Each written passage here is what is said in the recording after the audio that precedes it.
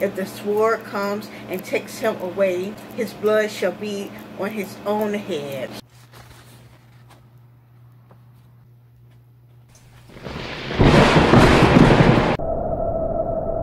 Not real windy out there. Too windy.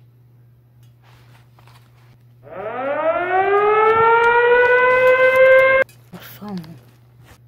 Weather alert tonight. Why didn't you been tell me this? I would have got prepared if I would have knew this. Hey everybody, welcome back to Inspire Me, where I talk about current or relatable topics, all from a godly perspective.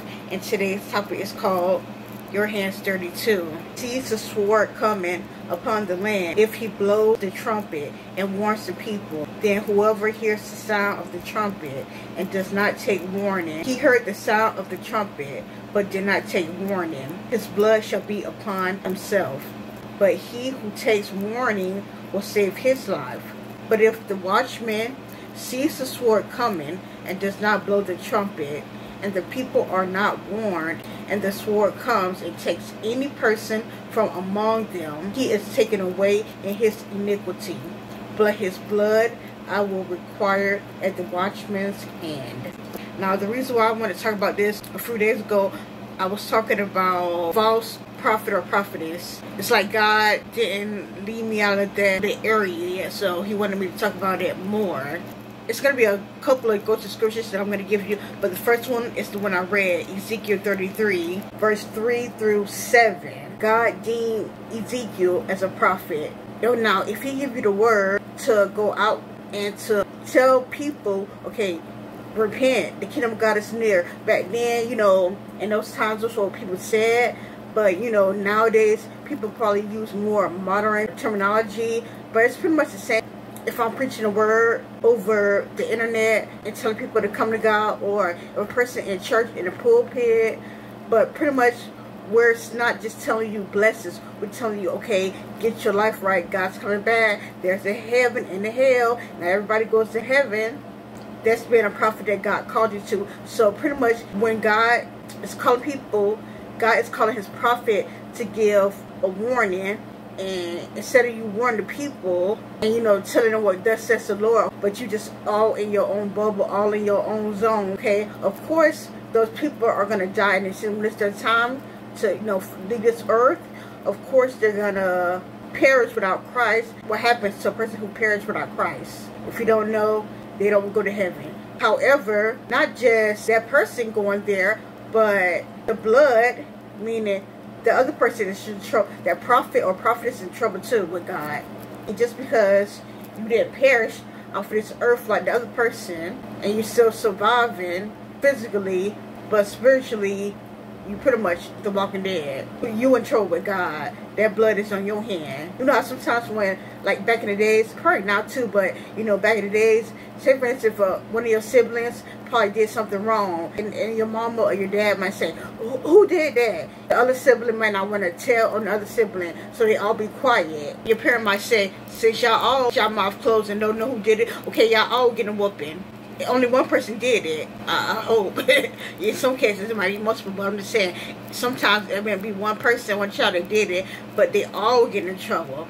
The exact same way, didn't the person that committed sin, then they just do it, but the blood on your hand, because you did not warn the people. However, it says, if you do warn the people, but the person still don't turn from their ways, okay, the blood is, is not on your hand because you did your part. I'm telling y'all the message. I'm doing my part.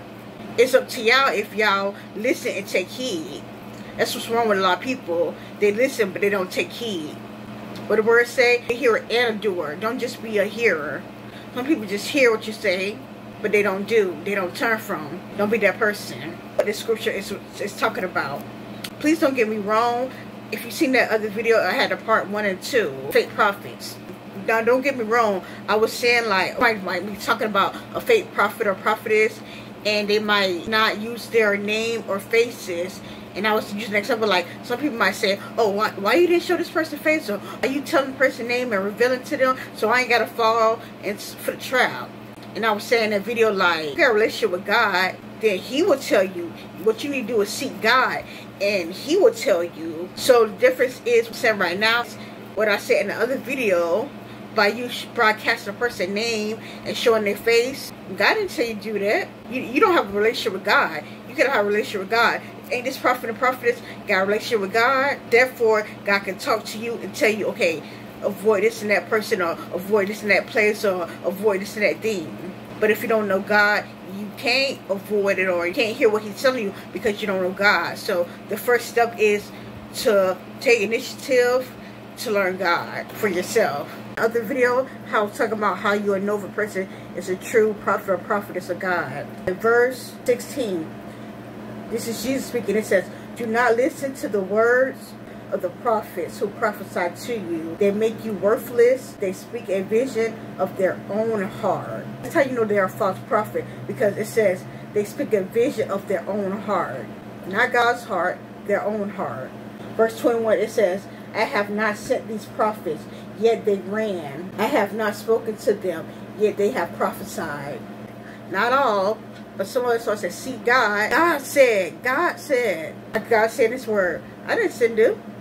Outside on their own heart. 25, it says, I have heard what the prophets have said, who prophesy lies in my name, saying, I have dreamed. I have dreamed. I was saying in, uh, I think, the part one, like I said, don't get me wrong, God do speak to us, but some people just be lying on the Holy Spirit. And all the messages are just uplifting and like, God never give you warning. As you see here with Jeremiah, Jeremiah 26, 12. Then Jeremiah spoke to all the princes and all the people, saying, The Lord sent me to prophesy against this house and against the city with all the words that you have heard. Now therefore amend your ways and your doings and obey the voice of God. Then the Lord will relent concerning the doom that he has pronounced against you. Exact same way I'm telling y'all, those who hear my message, please don't just look at it like, okay, it's just entertainment or I just want to be nosy because I know how some people think. Just want to see what's going on. No, when you hear this message, as Jeremiah says, and I give you the words from the Lord, repent, alter your ways. I mean, you should be changing your ways, asking God to help you. It's to come into your life to change your way. You don't want to be the exact same way.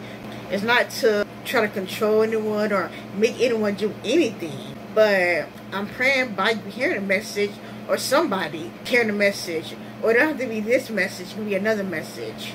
Alters their heart and want to get a heart to God. Jeremiah 27, 9 and 10.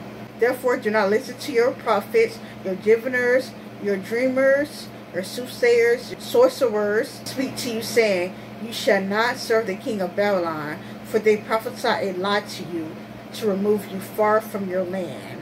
Everybody not telling you the truth. Even if it sounds good, or you're gonna get blessing, or you're gonna get favor, or you're gonna get this and that. Some are actually true prophets and prophets of, of God. Not all, but I'm just saying, not everybody that says Lord, Lord is of God. But God repeats it again. You shall not serve the king of Babylon, for they prophesy a lie to you. I have not sent them, says the Lord. Yet they prophesy a lie in my name, that I may drive you out, and that you may perish. So not only is a false prophet or prophetess going to perish, but the ones who listen to them and believe their lies, eat up their lies, going to perish as well. So if you're that person, you might not be a prophet or prophetess per se. However, if you you listen to their words and you believe it to be true, you gonna perish as well as them. Be mindful and careful, y'all. Another one's gonna be from Jeremiah 28. This is Hananiah speaking. Thus speaks the Lord of hosts, God of Israel. So he pretty much saying, God said this now, saying, I have broken the yoke of the king of Babylon.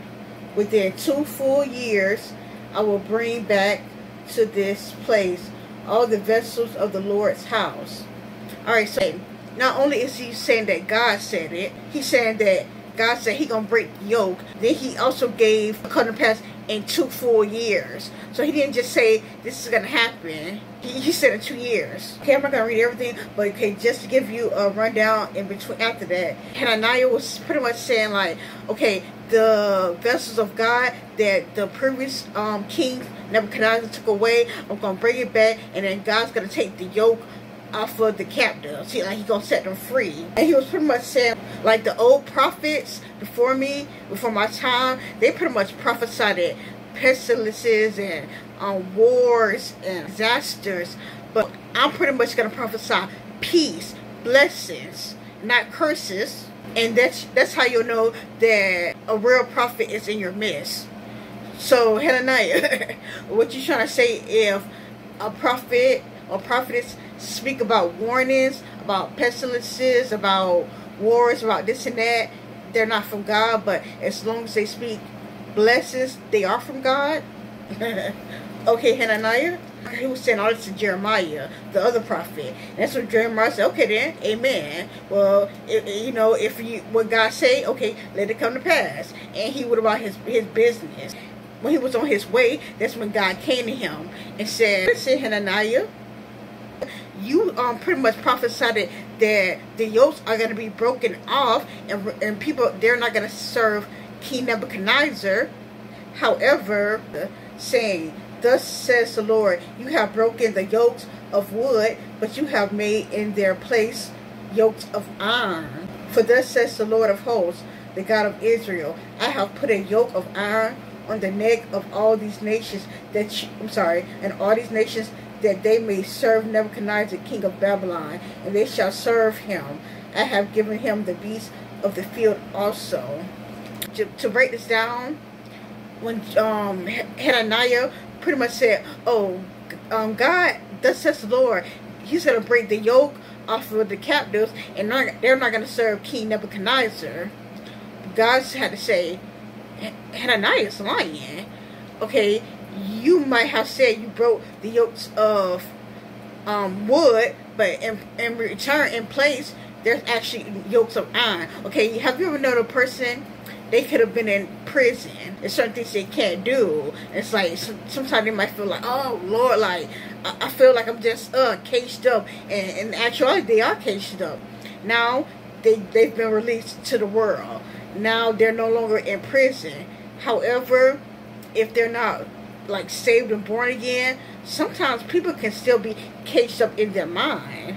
They could be in prison in their mind, like certain things. It's like they have a mentality of being locked up in prison. Feel me? So it's like, of course, they're not in prison physically like they used to be. However, mentally, even though they're free physically, mentally, they're still in, they're still in prison. So that's what God was saying. That's what Jeremiah was saying. There might not be yokes of, of wood, but in return, you made yokes of iron.